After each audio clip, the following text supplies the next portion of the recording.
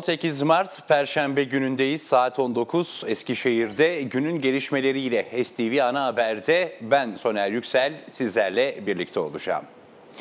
Bugün 18 Mart. Türk tarihinde son derece önemli, son derece özel ve altı sık sık çizilen günlerden bir tanesi. Çanakkale Deniz Zaferi ve Şehitleri Anma Günü.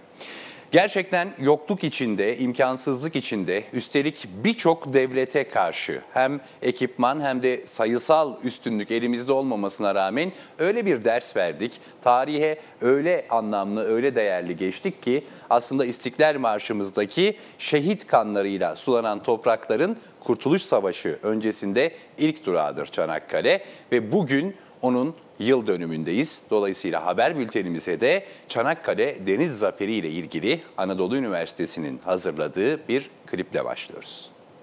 Eledim,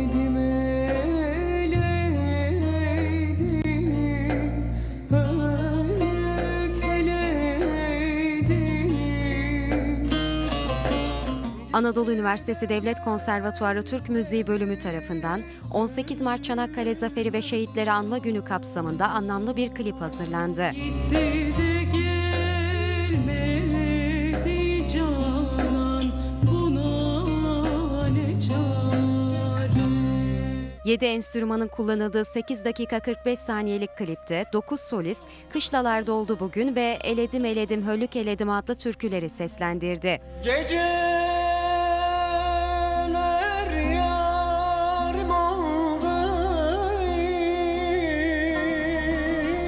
Hazırlanan projenin koordinatörlüğü Anadolu Üniversitesi Devlet Konservatuarı Türk Müziği Bölümü, Halk Misafir Öğretim Elemanı Beste Özdemir Gürmenekşe tarafından yapılırken, çekimlerse Anadolu Üniversitesi TV Yapım Merkezi tarafından gerçekleştirildi.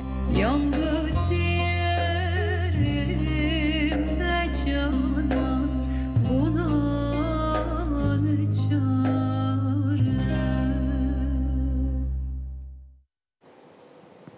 Ablaları, abileri yani Anadolu Üniversitesi'nde öğretim üyeleri ve öğrencilerin desteğiyle böylesi özel bir eser olur da lise öğrencileri, kardeşleri geri kalır mı? Onlar da 18 Mart şehitleri anma günüdür diyerek şehit aileleriyle son derece özel, zaman zaman duygulandıran, gözlerimizi nemlendiren, zaman zaman da gururlandıran bir video hazırlamışlar.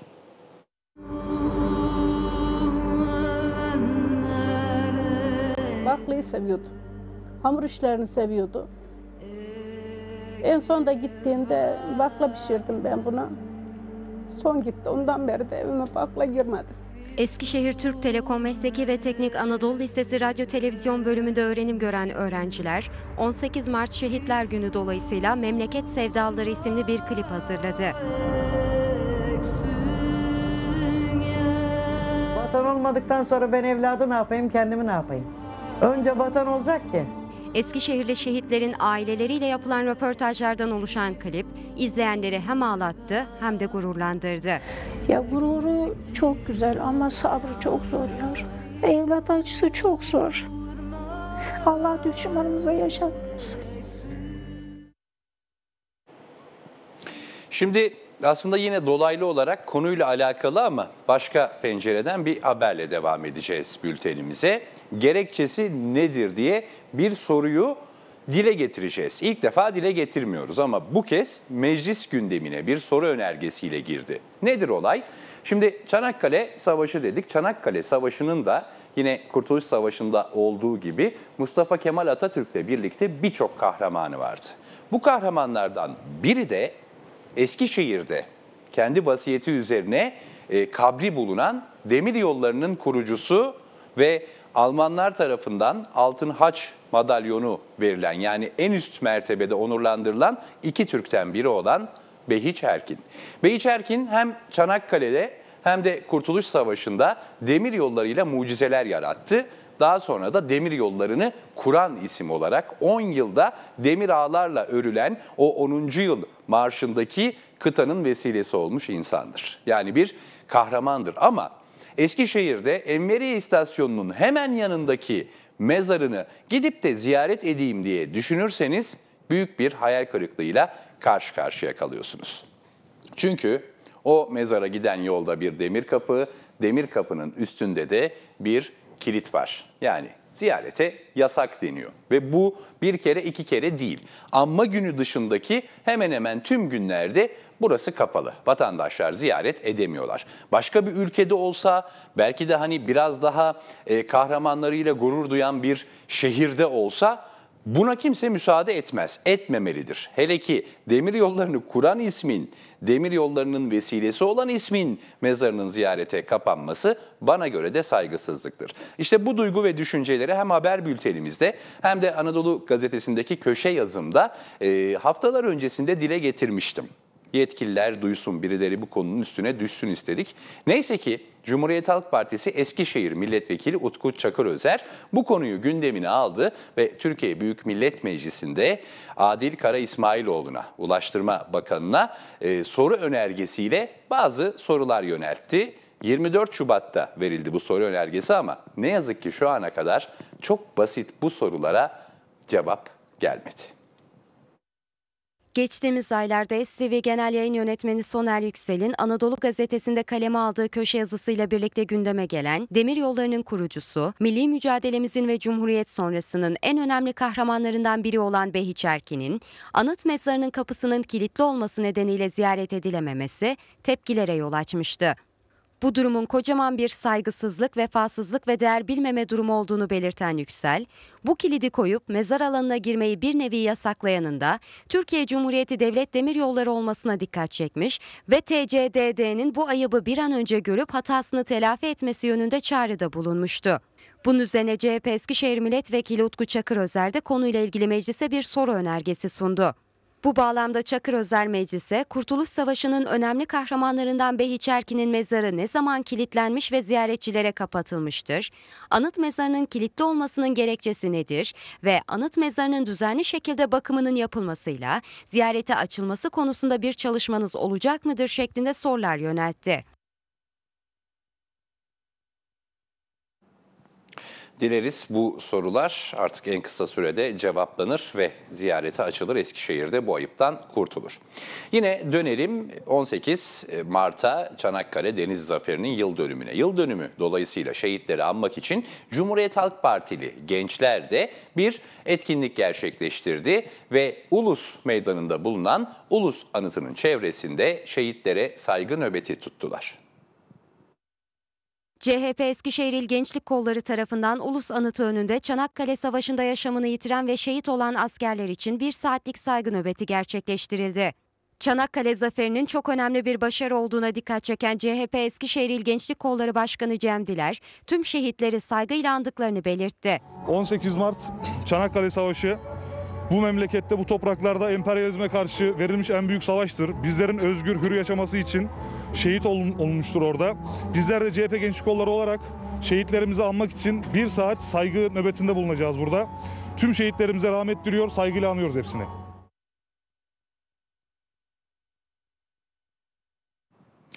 Eskişehir'de geçtiğimiz haftalarda üzücü bir e, cinayet yaşanmıştı, bir katliam yaşanmıştı. Bir aile, 4 yaşında çocukları da dahil olmak üzere Tokkalı ailesi katledilmişti. İşte bu vahşetin cezası bugün belli oldu. Eskişehir'de İlkay ve Emel Tokkal çiftiyle 4 yaşındaki çocukları Ali Doruk'u öldürdüğü gerekçesiyle tutuklanan Mehmet Şerif Bey'in cezası belli oldu. Sizin çocuğa nasıl kıydınız? Tokkal ailesinin katil zanlısına canavarca hisle veya eziyet çektirerek öldürme ve çocuğa karşı kasten öldürme suçlarından 3 kez ağırlaştırılmış müebbet hapsi istendi. Cumhuriyet Savcısı tarafından hazırlanarak Eskişehir 1. Ağır Ceza Mahkemesi'ne gönderilen iddianamede şüphelinin 4 yaşındaki çocukla anne ve babasını çok sayıda bıçak darbesiyle merhamet duygusu olmadan vahşi bir yöntemle öldürdüğü, durumun toplum vicdanının kabul edemeyeceği bir uygulamaya dönüştüğü, bu sebeple davranışın normal bir öldürme hareketinin ötesinde eziyet ve canavarca his sevkine dönüştüğünün anlaşıldığı belirtildi. Öte yandan Tokkal çifti ile Mehmet Şerif Bey arasında alacak verecek meselesi kapsamında anlaşmazlık yaşandığı belirtildi.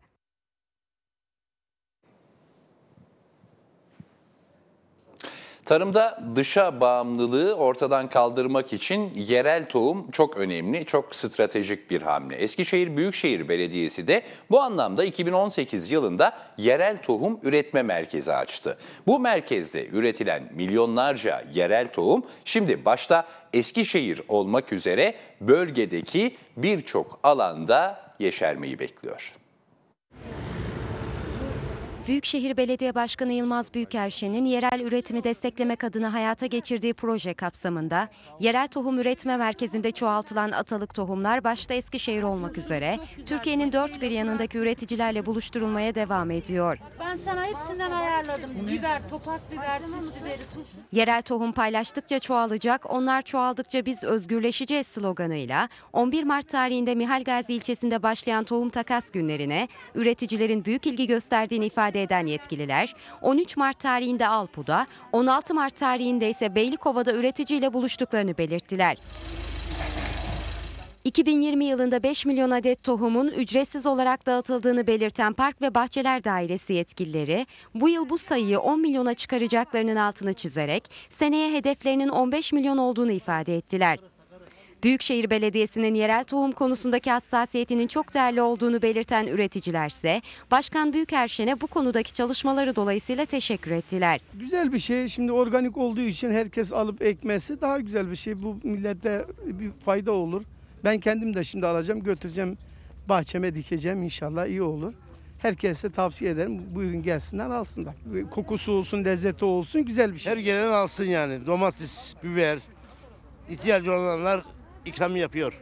Tohum takas günleri kapsamında Büyükşehir Belediyesi ekipleri 18 Mart'ta Mahmudiye'deki üreticilerle buluşurken 19 Mart Sarıcakaya, 20 Mart Miyalıçık, 22 Mart Seyit Gazi, 24 Mart Sivrihisar, 25 Mart İnönü, 26 Mart Çifteler, 29 Mart Günyüzü ve 1 Nisan'da da Handa pazar alanlarında üreticilerle buluşacaklar.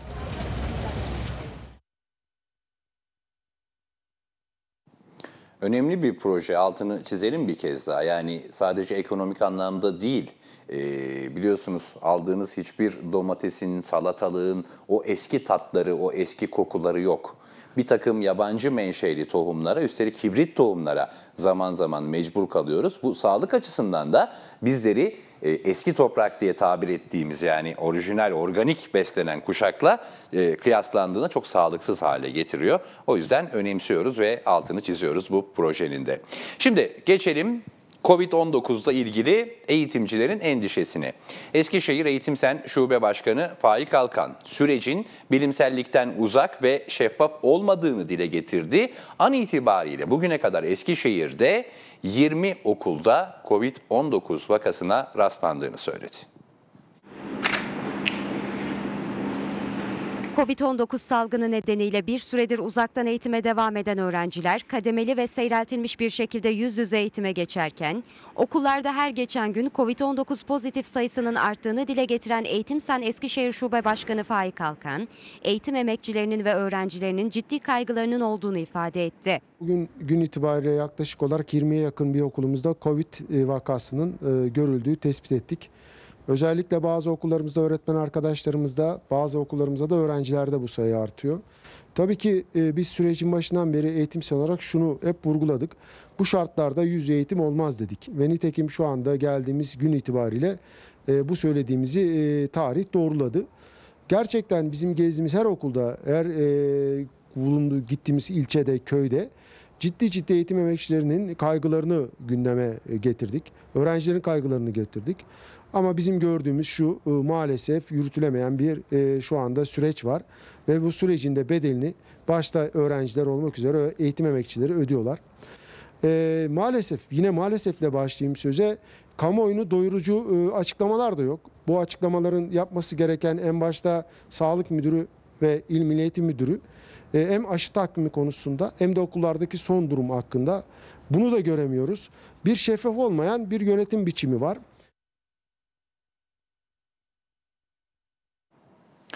Eskişehirli avukatlar bugün adliye binası önünde Gebze'de öldürülen avukat arkadaşları Ersin Arslan için bir araya gelerek saygı duruşunda bulundular. İcra memurları ile birlikte Kocaeli'nin Gebze ilçesinde bir eve hazze giden İstanbul Barosu üyesi avukat Ersin Arslan, ev sahibinin silahlı saldırısına maruz kalması sonucu kaldırıldığı hastanede hayatını kaybetti. Bu kapsamda Eskişehir Adliye Binası önünde bir araya gelen avukatlar, meslektaşları Ersin Arslan için bir dakikalık saygı duruşunda bulundu. Ardından bir açıklama yapan Eskişehir Barosu Başkanı Mustafa Elagöz, üzüntülerini dile getirerek hiçbir meslektaşımızın bir daha böyle bir olayla karşı karşıya kalmasını istemiyoruz ifadelerinde bulundu. Bugüne kadar birden fazla meslektaşımız görev sırasında hem şiddete maruz kaldı hem katledildi. E, aramızdan ayrılan bir sürü meslektaşımız oldu. E, elbette ki üzgünüz.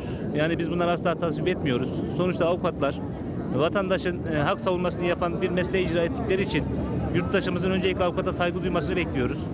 Ve e, yurttaşlarımızın e, özellikle e, avukatlarımızın bakmış olduğu davalarla özdeşleştirilmemesi gerektiğine de inanıyoruz. Çünkü biz davanın e, içindeki asli unsur değiliz. Biz sadece vekillik görevimizi yerine getiriyoruz. Taraflar adına savunma görevini icra ediyoruz. Bunun böyle bilinmesi gerekmektedir. Asla ve asla avukat davanın tarafı değildir. Meslektaşımın e, vefatından dolayı çok büyük bir üzüntü içerisindeyiz. Çünkü mesleğe yeni başlamış bir meslektaşımızdı. Evlenecekti, e, nişanlıydı bildiğim kadarıyla. E, genç yaşta mesleğin baharında hayattan e, ayrılması elbette ki üzücüdür. Sadece bunu biz e, meslektaşımız olarak değil, tüm yurtta da büyük üzüntü yaratan bir durumdur bu durum. Umarım son olur. Hiçbir meslektaşım bu şekilde görev sırasında katledilmez. İnsanoğlu hayatın içinde sadece bir figür. Evet en gelişmiş canlı grubundayız ama bu doğayla, çevreyle, hayattaki her şeyle ilgili sahipliğin bizim olduğumuza işaret değil. Paylaşmalıyız. Hatta diğer türleri bir şekilde onların yaşam alanlarını oluşturmakta içinde bulunduğumuz koşullarda bizlerin borcu. Bazı böyle yerler var. Artık insanlar tarafından da kanıksanmış gördüğümüzde bizi mutlu eden.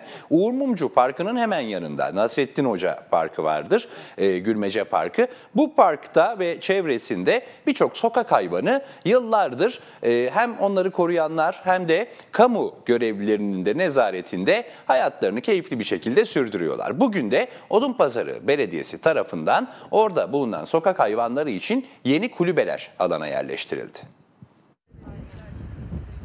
Eskişehir Hayvanları Koruma Yaşam Haklarını Savunma Derneği ile Odunpazarı Belediyesi işbirliğinde Nasrettin Hoca Parkı'na sokak hayvanları için yeni kulübeler yerleştirildi. Yerleştirilen yeni kulübeler hakkında bilgi veren dernek başkanı Nesrin Çiçek, çalışmalarının her geçen gün büyüyerek devam ettiğini belirtti. Parça parça e, değiştiriyoruz. Çünkü 40 küsür kulübemiz var burada iç içe. Giderek de e, sayıları artıyor ve yaşlananlar var. Yaşlıları biraz geniş kulübelere taşıyoruz gençler için. Şu anda 17 tane kulübe yaptırttık. Geri kalan da devamını sürdüreceğiz. Diğer bölgelerimize de e, aynı şekilde sürdüreceğiz, devam edeceğiz. Bu sene pandemi sürecinde rakamsal olarak verecek ola- e, ee, sadece 70-80 tane kulübeyi biz yerleştirdik. Gönüllülerimiz hariç. Öte yandan Eskişehir'de hayvan hastanesi olmamasına dikkat çeken Çiçek, bunun büyük bir eksiklik olduğunu da sözlerine ekledi. Biz zaten Mancane Hayvanları Koruma Derneği olarak ağırlıklı e, klinik vakalı olarak e, çalışıyoruz. Yani kaza yapmış. Biliyorsunuz şehrimizde maalesef e, bizim bir e, hayvan hastanemiz yok.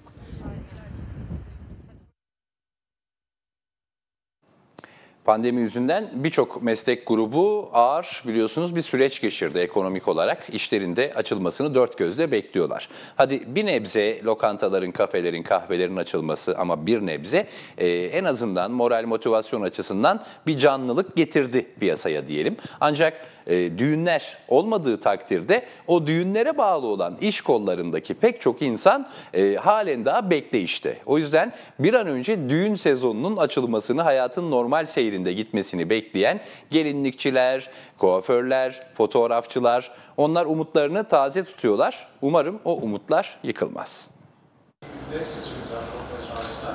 Koronavirüs salgını nedeniyle geçtiğimiz yıl düğünler iptal edildi. Birçok kişi salgına yönelik önlemler kapsamında bir saatlik bir nikah töreniyle dünya evine girmek zorunda kaldı ya da düğününü ertelemeyi tercih etti.